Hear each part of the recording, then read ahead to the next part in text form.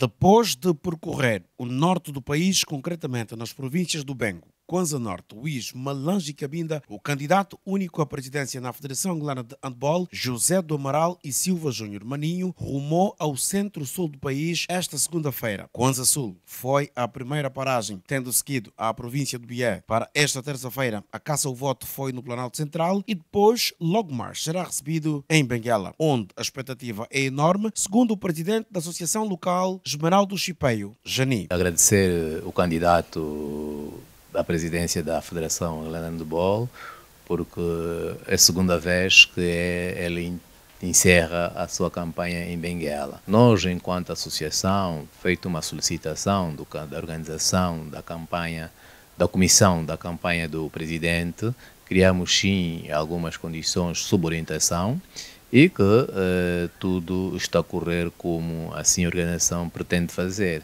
que é uma atividade que terá início amanhã às 17h30 e nós, enquanto filiados, neste caso da Federação, lá estaremos para que realmente apoiemos o candidato, independentemente de ser único, mesmo que assim houvesse um, ele seria sempre o mais forte candidato ao cadeirão. Então, vamos ouvir o que o Presidente tem de inovação em relação ao ciclo passado, que realmente foi coroado de êxito. O encerramento da campanha terá lugar no restaurante Escondidinho, cujo responsável, Jorge Gabriel, dá garantia de prontidão organizativa. Olha, antes de mais, queria desejar toda a sorte e, e toda, toda a força do mundo ao Maninho, porque, para além da sua capacidade como desportista, como dirigente, eh, tem uma pujança como homem que merece ser. Eh, apoiado e louvado. Portanto, muita força ao Maninho e que ele vença o, e que tenha todo o sucesso a dobrar no novo mandato. Está tudo a correr bem, embora com um número muito reduzido, porque eu queria que estivéssemos aqui 100 ou 200 pessoas, mas só podemos estar aqui 50, 60.